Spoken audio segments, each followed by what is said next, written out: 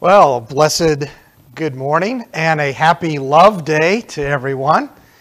Uh, the great thing as Christians, we know that God has loved us in such a way that uh, we can celebrate love not just one time a year, but every day of every year. I want to thank all those that were able to come out to the memorial service for uh, Verna. Um, if you didn't get a chance and, and don't know already, um, the memorial service is up on our YouTube page. There's a link uh, on our website as well. Um, but uh, despite that, all that I did, the fact that I was leading it, it, I think it went really well. So thank you for that. And uh, we're glad to have Joy back with us. I think she's going to be with us one more week and then head back home. So, um, this morning, I want to get back to what we talked about a couple weeks ago, and that was a lesson from the Gospel of John. Now, in that lesson, we were talking about John like a, excuse me, like a piece of music.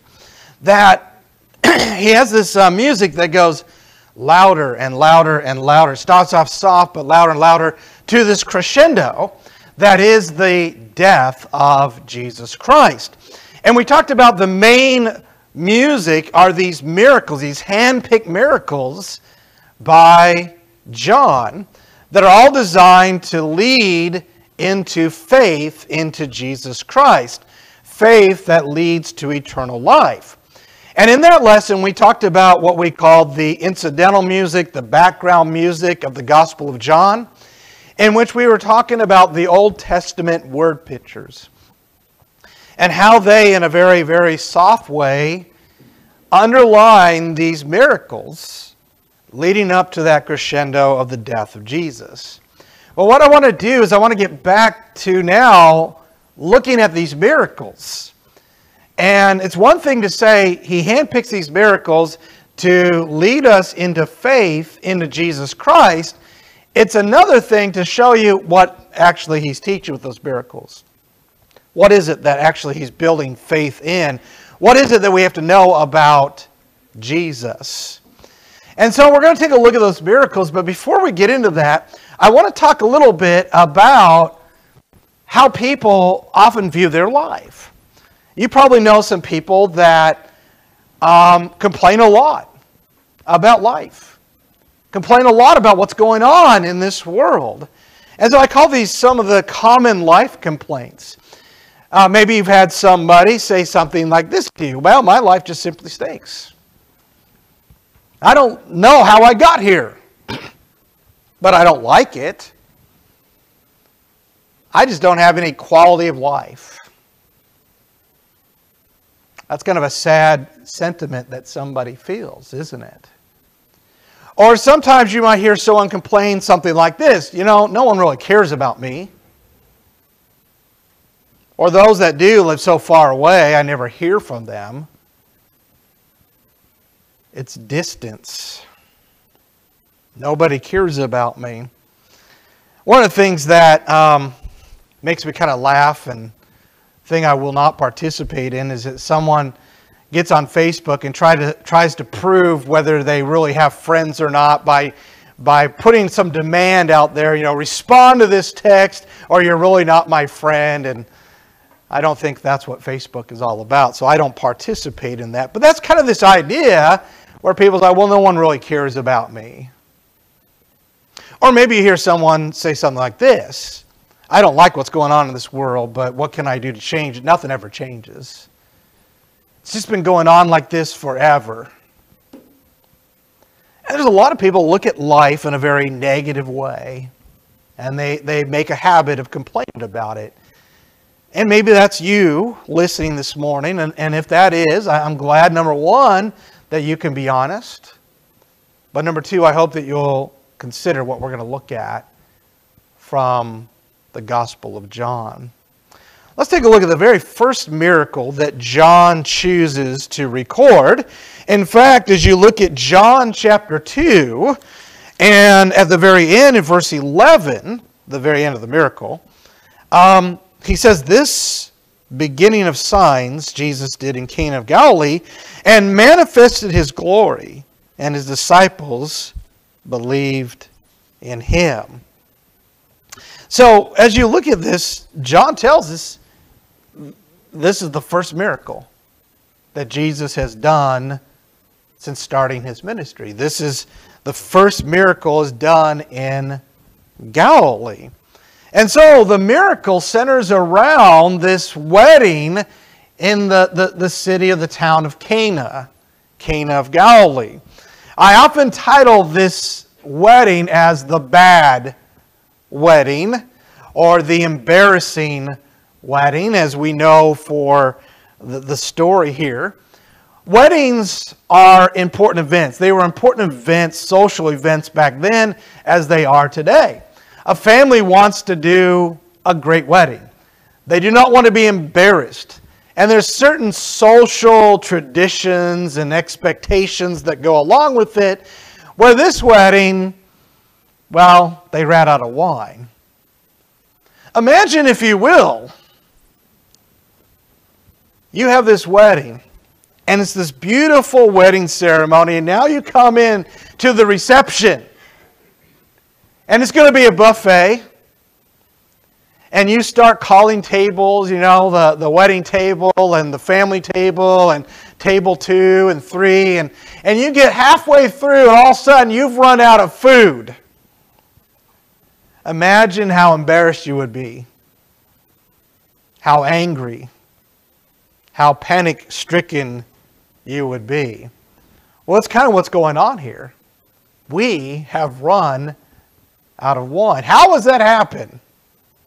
And so we have Jesus coming, and I would take it, most believe that this is some type of relative of Jesus' family. His, his mother is there, and it appears that she is in not just a guest, but some, some way of trying to help run this wedding uh, feast. And so, as we said, John says this is the first miracle Jesus performed.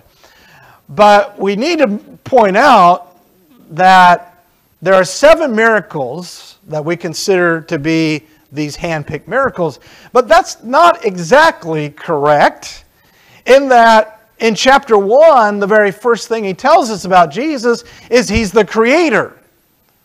And that's an extraordinary miracle.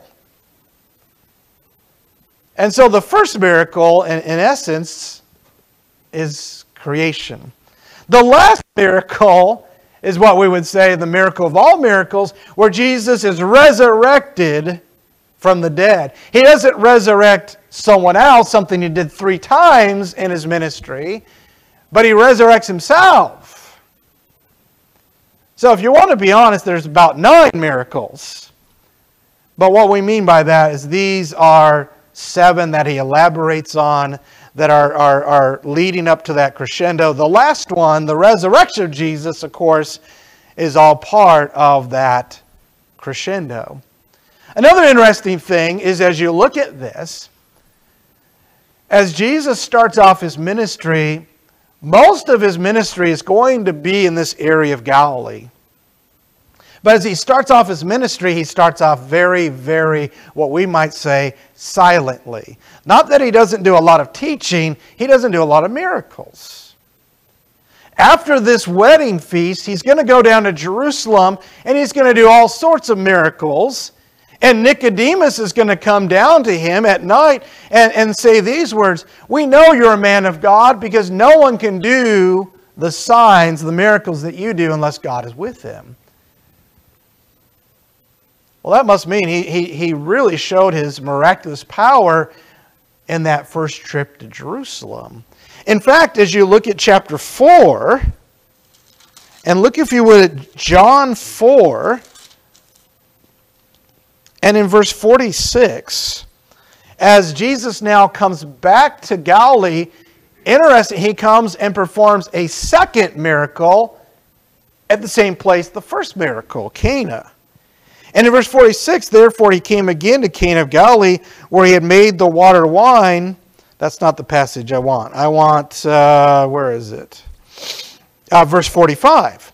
So when he came to Galilee, the Galileans received him, having seen all the things he did in Jerusalem at the feast.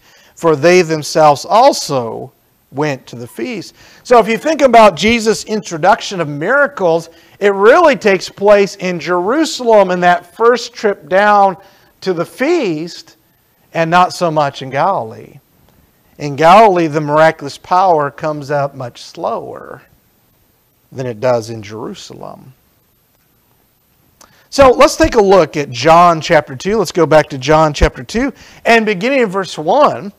On the third day, there was a wedding in Cana of Galilee, and the mother of Jesus was there. And both Jesus and disciples were invited to the wedding. And when the wine ran out, the mother Jesus said to him, They have no wine. And Jesus said to her, Woman, what, what does that have to do with us? My hour has not yet come. His mother said to the servants, Whatever he says to you, do it. I want to stop right there just for a second. I want you to notice that you've got Jesus, and if John is correct, he hasn't done any miracle. So, what is Mary expecting him to do? Who knows the, the power, the authority Jesus has? And so, as Mary tries to solve this very embarrassing problem, we've run out of wine, I would imagine she's trying to do it very quiet, quietly. She's, she's trying to do it, you know, hey, they've run out of wine. Trying to fix this problem before anyone else finds out about it. But what does she expect Jesus to do?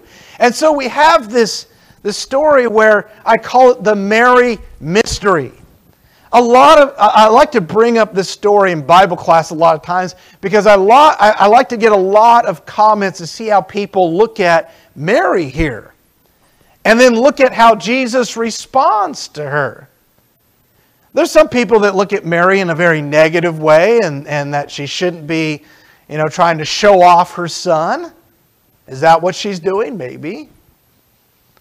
Um, there's some that look at what Jesus says to Mary as kind of troubling. It seems kind of disrespectful. And I like to, to see how people view Mary and, and, and this conversation she has with Jesus. But the answer is we just don't know what she was expecting. Was he expecting a miracle?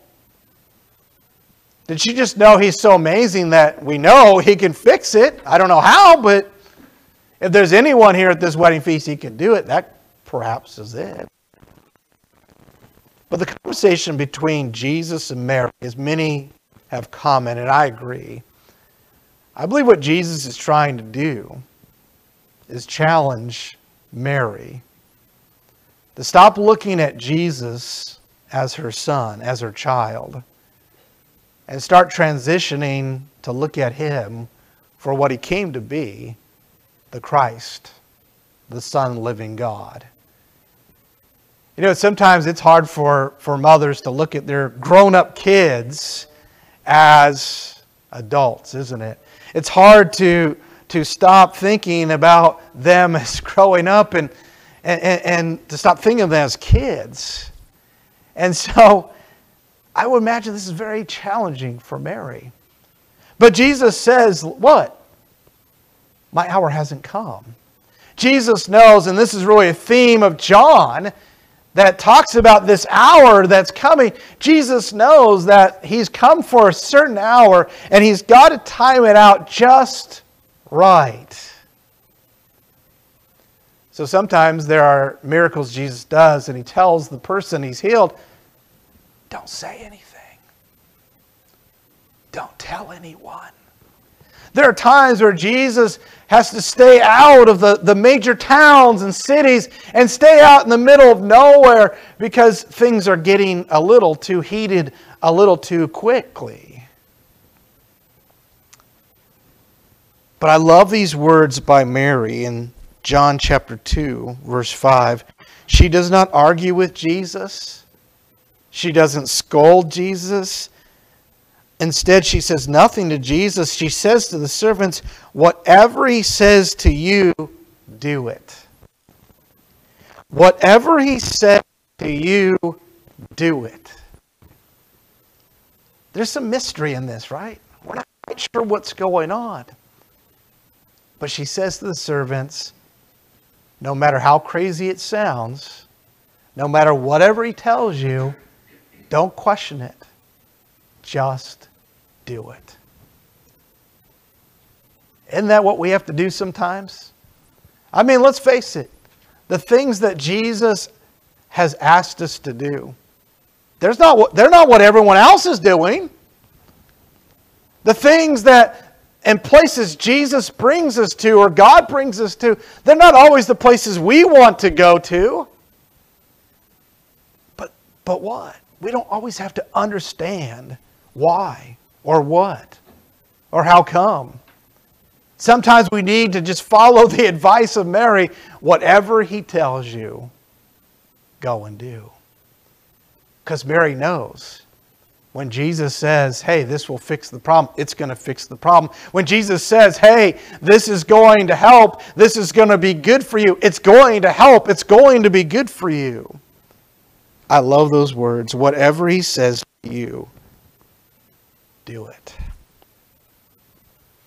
So now there were six stone water pots, verse 6, set there for the Jewish custom of purification, containing 20 or 30 gallons each. And Jesus said to them, Fill the water pots with water. And so they filled them up to the brim. I love that. Jesus, or, or excuse me, the Word of God has just the right amount of details to take away any type of alternate explanation. Here we're told that they go and fill the water pots, probably something maybe that looks something like I have pictured up here. And he says, fill them with water. And so they fill them with water to what? What's the, what's the detail there? I always preach how important details are. Fill them to the brim. In other words, there's nothing else that can fit into that, that jar. This is not an explanation. Well, they only filled it halfway. There was already some wine in there. Well, that wouldn't make any sense. They had run out of wine. These were completely filled with 100% H2O, is the idea. In other words, when they, the water becomes wine, it is, no other conclusion can be drawn. It is a bona fide miracle. In verse 8, he said to them, Draw some out now and take it to the head waiter. So they took it to him. And when the head waiter tasted the water which had come, become wine, and did not know where it came from, but the servants who had drawn the water knew, the head waiter called the bridegroom. And he said to him, Every man serves the good wine first, and when people have drunk freely, then he serves the poor wine. But you have kept the good wine until now. I, I, I kind of think that's funny because we have this embarrassing situation in this important social event of a wedding. We've run out of wine. Jesus fixed this, and he fixes it. But it leads to another embarrassing situation, and that is you haven't served the best wine. You, you, you, you're not meeting the custom of the time. You save the best wine for later. No one does that you've embarrassed your host. And so it's interesting we go from one embarrassing situation to another embarrassing situation. But that's the problem. That's the fact. You and I get to know what's going on here. That Jesus has saved the bad wedding. That they did serve the best what? Wine first. They did. But the problem is that was from man. That's what man can produce. But when Jesus involves himself in what it is, this very first miracle, what? He's creating something. It, it, it's a, a, a reflection of Jesus as back in chapter 1 as the creator. He's the one that created the water. He's the one that created the grapevine. Surely, if he wants to turn water into wine, his own creation, he can do that. And not only will he do that, it will far exceed any that man can ever make. So, what do we have here? We have this incredible miracle that shows us that Jesus has the power over quality. Jesus, when he creates something, he creates it with quality. He creates the best thing. I kind of wonder about this miracle. This is a little bit different than, than other miracles where Jesus, in front of multitudes, heals a lame man and they see this lame man pick up his pallet and walk, or touches a leper, something you just don't do, and the leprosy is gone and everyone sees it. I wonder how many people actually know what's happened here. In fact, in the text, it tells us the head waiter did, didn't know where, where this wine came from. We don't know because of verse 11, the disciples knew of it and they believe in him. And there's that faith building statement. They saw it, they knew it, they learned of it, and they believed. Maybe the word spread around the wedding as to what happened here. But is there a really quite the splendor? Is where's the amazement in this? This is a very, very um, interesting first miracle that some may not have even known that a miracle took place. But what happens is Jesus creates this wine. He solves the problem. He creates the best tasting wine. What does that tell us about what Jesus can do for us? Well, I want to ask this question before we move on to the second miracle. Can man improve on Jesus' creation? Here's a miracle that's, that, that answers that question. No. we saw they served the best wine, man's wine, and then Jesus and his wine later, and there was an embarrassment. Jesus' wine was so superior. They thought that the bad wine was the wine served first. And I think that's such an important point. That There's this idea of where, where man comes to focus on the church that Jesus Christ built. And there's so many churches out there. Why is that? Why isn't there just one? Why isn't there just the one that Jesus built? Well, if we're really honest, there's a lot of churches out there because men think that they can do better. They can add this or take away this or change this. There's this idea that the church from the first century has to evolve to meet the culture of the time, what men will be attracted to. That's how we're going to fill in the pews. But there's one thing that's constant through John, and that is that Jesus and his ministry is not about just sheer numbers. In fact, in one of these miracles, we'll make the point where Jesus says, Don't follow me because of my miracles. Don't follow me just because I can feed you physical food. Over and over, Jesus wants people to believe in Him for the right reason. And I think we need to be careful to think we can improve our song service by changing the certain songs we sing or how many verses we sing or, or any type of physical outward change.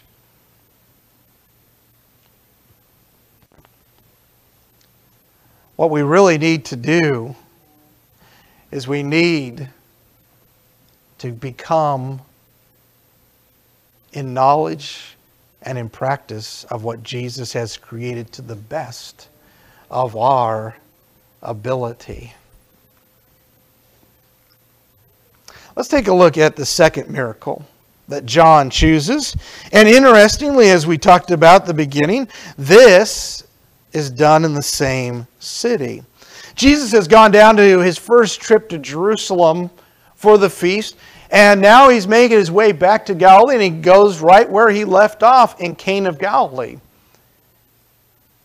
Here's a miracle that, as the New American Standard has it, involves a royal official. Others have noblemen. But let's take a look at what happens here in verse 46, on 4, beginning verse 46. Therefore he came again to Cana of Galilee, where he had made the water wine. And there was a royal official whose son him. And when he heard that Jesus had come out of Judea into Galilee, he went to him, was imploring him to come down and to heal him, for he was at the point of death. So Jesus said to him, Unless you people see signs and wonders, you simply will not believe. The royal official said to him, Sir, come down before my child dies. And Jesus said to him, Go your son lives. The man believed the word that Jesus spoke and started off. And as he was now going down, his slaves met him, saying that his son was living, and inquired of them. Began, and they said to him, Yesterday at the seventh hour, the fever left him. So the father knew that it was at that hour in which Jesus said to him, Your son lives. And he himself believed, and his whole household. This is again a second sign that Jesus performed when he came out of Judea into Galilee. The second sign in Galilee, not the second miracle, but the second miracle he performs in Galilee. So let's take a look at this. What, what, is G, what is John trying to teach us here? Well, number one, you've got a desperate situation. You've got a desperate father whose son is so sick, he's about to die. And when he hears that Jesus has come back to Galilee, he goes to him. Sometimes faith is strengthened due to circumstances. But what I mean by that is, I wonder, does this man really have a lot of faith in the ability of Jesus to heal his son? Does he really believe that Jesus can do it? I'm not sure. I mean, when you get desperate, when you have no other uh, choices, it's real easy to believe in some of the most ridiculous things. This man has no other option but to believe in Jesus. But as we ask that question, by the end of this miracle, this man indeed believes in Jesus. And there's a certain test that Jesus does to this royal official to see just what kind of faith he has to see if it's just due to desperation or if he truly believes. And I think what we have here is something very, very common. There are people that come to believe in Jesus or will give Jesus an opportunity out of sheer desperation. We, we would wish it would be that way. We wish that people would have strong faith, that they would see the, the magnificence of Jesus as we do. But sometimes people have to hit rock bottom. Sometimes people have to be desperate in order to really see what Jesus can do for them. Sometimes there's a test, like there's going to be for this royal official. So, as we get to this man finding Jesus, there does seem to be some faith. Again, maybe because of desperation, maybe some true faith. And so we have faith, but this is one thing that John shows us quite a bit about the faith of people in, in Jesus' days, even the faith of his disciples, that they believe in Jesus, that he has certain powers, but they often put limits on Jesus. And look, if you will, as this man finally catches up to Jesus. And he says to him, What? He implored him, verse 47, to come down and to heal his son, for he was at the point of death. And again, in, in verse 49, he says, Sir, come down before my child dies. In other words, what he wants Jesus to do is he wants Jesus to drop everything he's doing and come and be present to heal his son. Let's just grant he, he, he, he does have faith that Jesus can perform this miracle, that Jesus can heal him, but what? In his mind, here's the limitation Jesus has to be present. Come down and be at the side, the bedside of my child, so that you can do this miracle. And keep in mind, where's Jesus? He's in Cana. Where's the son? He's in Capernaum. There's, there's miles that Jesus would have to walk to get to that bedside. Faith with limits. I want to ask you I know you believe in Jesus, but do you put limits on him? A lot of times we put limits on God and his son Jesus. What? Through our prayers. Sometimes by not praying for what Jesus could help us with, what God could help us with. And so, Jesus simply says to him, 50, Go, your son lives. Him and started off. You see, what Jesus does here is he's going to, to heal this man's son, but what he does is a little test. Go, your son lives. Well, do you see what's going on here? As soon as this man leaves Jesus, it's going to be a while before he gets back home to see if what Jesus said is actually true.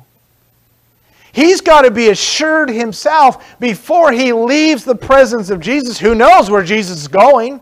Who knows if he'll be able to encounter him once again? He has to be assured that what Jesus has said actually takes place.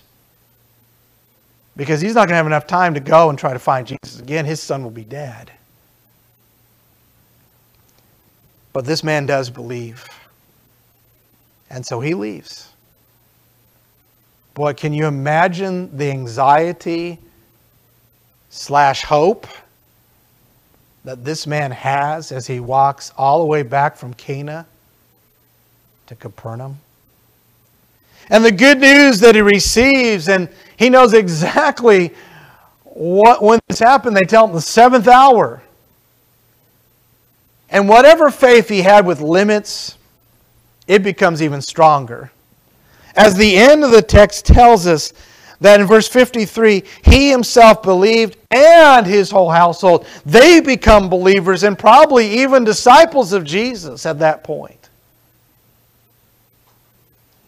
But what does this tell us about Jesus? What are we learning about Jesus? What is John trying to get us to see? Well, Jesus has power power over distance, power over space. There is nothing that makes Jesus too far away. There's nothing where, where God is, is just so far gone that He doesn't have time for us. He has the power over distance. He doesn't need to be present to heal someone. He can just say the word. This man was challenged to believe that, and he did, and he grew stronger in his faith.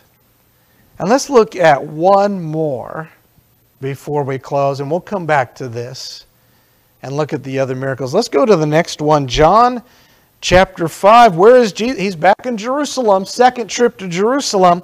After these things, there was a feast of the Jews, and Jesus went up to Jerusalem. And now there is in Jerusalem by the sheep gate a pool, which is, which is called in Hebrew Bethesda, having five porticos. And in these lay a multitude of those who were sick and blind and lame and withered, waiting for the moving of the waters. For an angel the Lord went down at certain seasons into the pool and stirred up the water. Whoever then first, after the stirring up of the water, stepped in was made well for whatever disease with which he was afflicted. A man was there who had been ill for 38 years. And when Jesus saw him lying there and knew that he had already been a long time in that condition, he said to him, do you wish to get well? The sick man answered, Sir, I have no man to put me into the pool when the water is stirred up, but while I'm coming, another steps down before me. And Jesus said to him, Get up, pick up. Well, picked up his pallet and began to walk. It was the Sabbath on that day. Now, I, want you to notice some things here. We got another desperate situation. Here's a man who thinks he has found a source of healing, but but what is it? It, it? Well, I believe this is just superstition. Desperation often turns into superstition. You hear all sorts of things of people telling you this will cure this and that will cure this, and you try them all and nothing happens. I think that's what's going on here. Look at all the, the requirements that, that have to happen for someone to be healed. Number one, an angel has to come and stir the waters. And then there's a mad dash once that happens. And the first one in the water, I don't know if it's like your first toe in the water, your first whole body in the water, I don't know. That one gets well and everyone else doesn't. But what we need to understand is superstition might lead to hope, but ultimately we see what it is it's false hope. And these miracles are trying to show us that you don't have to believe in superstition when you have Jesus. You don't have to worry about desperation when you have Jesus. Two stories about two desperate men. One desperate because of what had happened to someone else, and the other one desperate what's happening to him. Healing that he believes in his mind so close, but so far away he didn't know how close he was when Jesus came on that day. We are told that this man has been in his illness, this illness that brings about him being lame, for a long time 38 years. There's no doctor that can heal him, there's no cure for this. I would imagine that had a lot to do with the superstition that this man believed in. But what happens is Jesus comes to him. And I would imagine Jesus has chosen this man because of all those that are gathered around the pool, he's the most handicapped. He's the one that, if you did like everyone in the water, he'd be the last one in. Jesus comes to him. And he says, Do you want to be well? Of course. That's why he's been trying to, to get well with the superstitious pool. But he can't do it. And so, with seven simple words, Jesus heals this man. This man takes up his pallet and he walks. Something he hadn't done for 38 years. He didn't need an angel to steer the waters. He didn't need to try to crawl, be the first one. Jesus said, pick up your pallet and walk. Simple. What does it tell us? Doesn't matter how long you've been sick. Doesn't matter if there's no cure in the world. Doesn't matter if there's no doctor that knows how to bring a solution to this problem. Jesus has power over time, power over desperate situations, power over hopelessness. And so, as we bring our lesson to a close, let's take a look back at life's complaints and see what's the answer here? The answer is Jesus. My life stinks. Well, let Jesus take over your life. Because Jesus has come to give up his life that we might have the best quality of life. Heaven is not on this earth. We are working towards that quality of life that will last not temporarily, but eternally. But even in this life, with the love of God and the knowledge of the Spirit, we have physical life as well. Nobody cares about me. Everyone lives so far away. I, I never hear from anybody. Well, when you have Jesus, guess what? Distance is not a problem.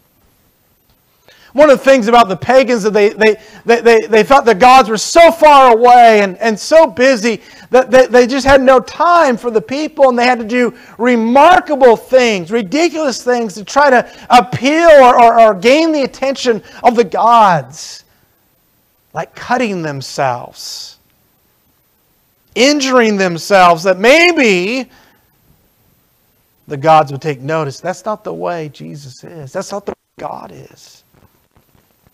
He's never too far. He's right there in your heart and in your mind.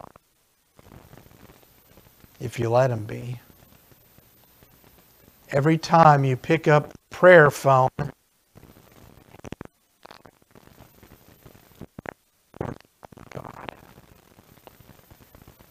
Nothing ever changed. I, I, I hate the way the world is going.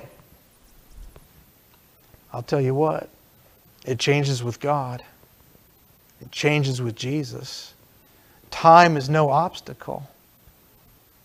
And one day, what we think is just daily life is going to come to an end. And everything's going to change. And those that have turned their life and come close to Jesus and given Him all of their time and devotion are going to enter into the most exciting, worthwhile life one can know. Not on this earth, not in this world, but the world to come. These are all things we need to know about Jesus to understand the crescendo of John's gospel. Thank you.